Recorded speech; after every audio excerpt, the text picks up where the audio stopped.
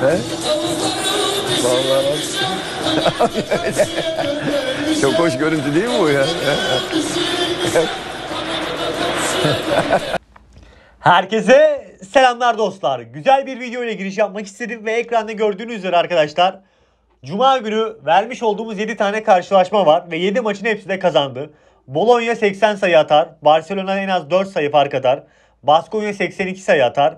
Melbourne City 2 gol atar. Galatasaray alır 4.5 alt güzel orandan. Darmstadt maçı KG var. Paris'te ilk yarı kazanır.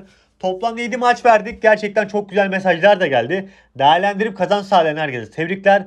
Cuma günü vermiş olduğumuz 7 maçta 7'de 7 yaparaktan da full artı full olaraktan da kazandırdı. Giriş videonun hakkını vermek istedim bu şekilde. Devam edelim. Hatta verdiğim 7 maçı da defterde not aldığım şekilde defter mod etkin şeklinde ekrana getireyim. 7'de 7 vermiş olduğum bütün maçları ben böyle deftere ideali risklisi hepsini yazarım.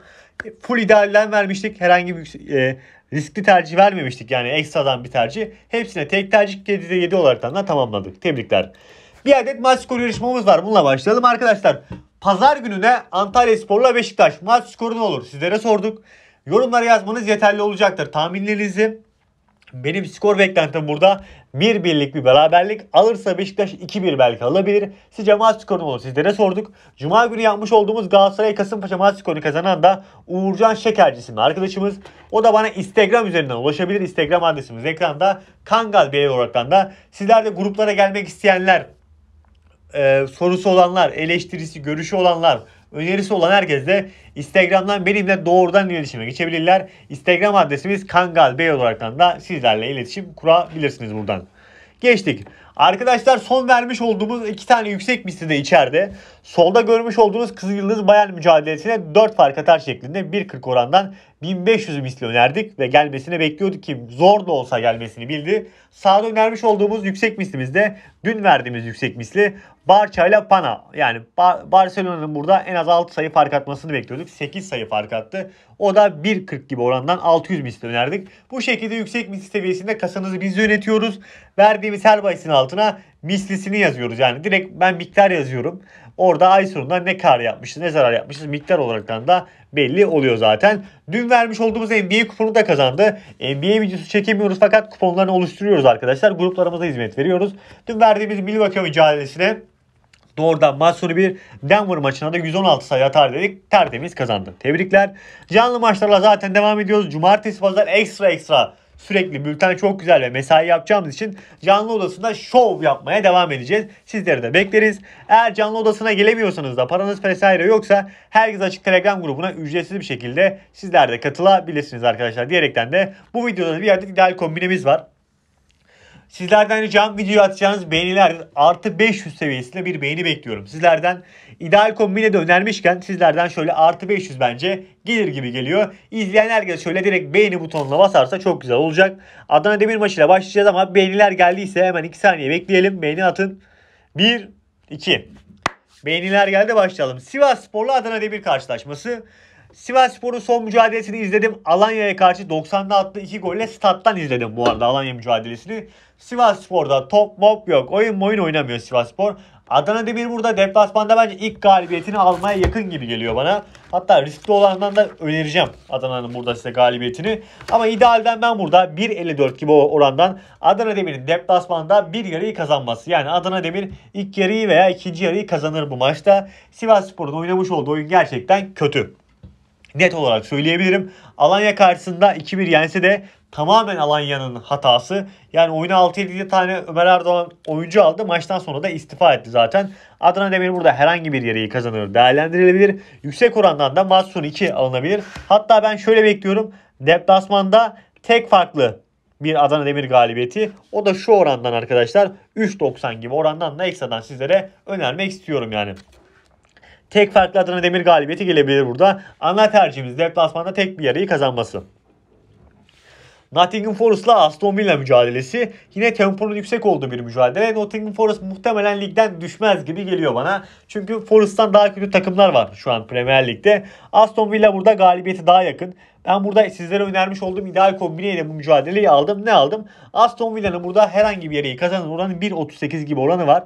Değerlendirecekler burada Aston Villa'nın bir yarıyı kazanır ana tercih olarak değerlendirebilir. İdeal kombineme de aldım bu mücadeleyi. Onun dışında yüksek orandan ne yapabiliriz diye baktığım zaman da Aston Villa arkadaşlar geçiş oyununu çok iyi oynayan bir takım. Özellikle Watkins'e attığı toplarda değerlendirme bitiricilik yüzdesi yüksek. 2.5 üstünde 2 olabilir. 2-1-3-1 yarında bir skor var zaten. Beklentim eğer 2.5 üstünde 2 olursa ve alacağımız oran 2.44 arkadaşlar. Değerlendirecekler bu yönde bir değerlendirme yapabilirler. Diğer mücadelem Antalya ile Beşiktaş. Bu maçın maç skorunu sizlere sorduk ne olur diyerekten de zorlu bir mücadele. Beşiktaş tarafında eksikler var. En son maçta kırmızı kart gören isimler de var. Son mücadelede Beşiktaş kazandı fakat Gaziantep'in orada kaçırmış olduğu 5 tane çok net gol pozisyonu var. Antalya ile oynayacaklar. Antalya'nın ben o kadar pozisyon kaçıracağını düşünmüyorum. Buksa'nın atacağı golle birlikte Antalya'nın da burada gol atmasını bekliyorum ki zaten burada Beşiktaş'ı favori görmüşler ama 2 orana yakın oran vermişler. Ben burada skor beklentim 1-1. Bu maçın da skorunu sizlere sormuştuk. İdealden karşılıklı atacak goller değerlendirilebilir. 1.46 gibi oranı var. Her iki takımın atacağı goller burada idealdir. Onun dışında arkadaşlar şunu söyleyeyim. Mücadelede bir maç sonu 0 ve 1 birlik bir skorda çıkma ihtimali yüksek bence. Sizce, siz de maç skor görüşlerinizi yoruma yazabilirsiniz. Monaco ile Brest mücadelesi. Monaco özellikle oynamış olduğu maçlara bakın ilk yarıdan itibaren çok baskılı oynayaraktan da bir e, skor üretmeye çalışan bir takım. Fakat Brest'e baktığımız zaman da son Paris mücadelesinde Paris kalesinde inanılmaz pozisyonlar buldu. 3-2 kaybetmiş olsa da 2 gol atmasını bildi. O mücadeleye de 3 tane canlı bahis vermiştim. 3 de geldi. 3'te 3 yaparaktan da kazanç sağlamıştık.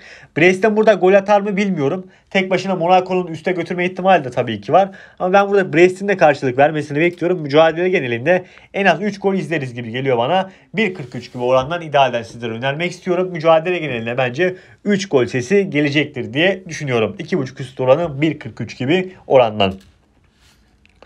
Luton Town'la Liverpool mücadelesi. Liverpool'un Avrupa mesaisi var ama ayın 9'unda yani ona daha var ki Avrupa'da zaten çok fazla zorlanmayacaktır.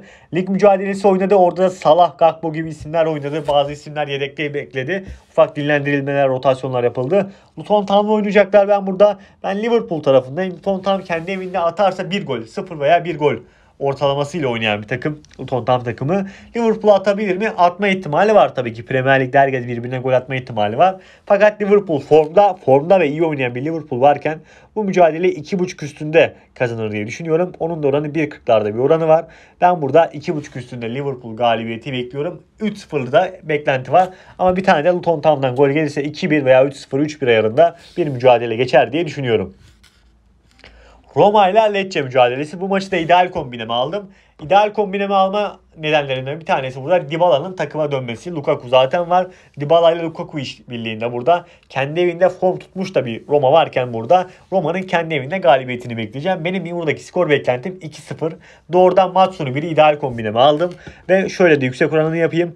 Maç sonu 1 ve 3.5 altın oranı arkadaşlar 1.85. Benim skor beklentim 2-0 olduğunu söyledim. Skoruma da uygun yüksek orandan da 3.5 altında bir değerlendirmesi yapabiliriz. Değerlendireceklere bol şanslar. Sizlerden ricam video atacağınız beğenilerdir. İdeal kombinemiz var. Ekrana gelsin. Şöyle artı 500 beğeni gelirse bu şekilde sizlere ideal kombin önermeye devam edeceğim. Aston Villa'nın burada herhangi bir yeri kazanması 1.38 gibi orandan. Roma'nın da mücadeleyi kazanmasını bekliyorum. 2.04 gibi orandan sizlere önermiş olduğum ideal kombine. Değerlendireceklere bol şanslar. Videoya like atmayı unutmayınız. Kanala abone değilseniz abone olursanız güzel olur. Görüşmek üzere. Seviyorsunuz. Bay bay.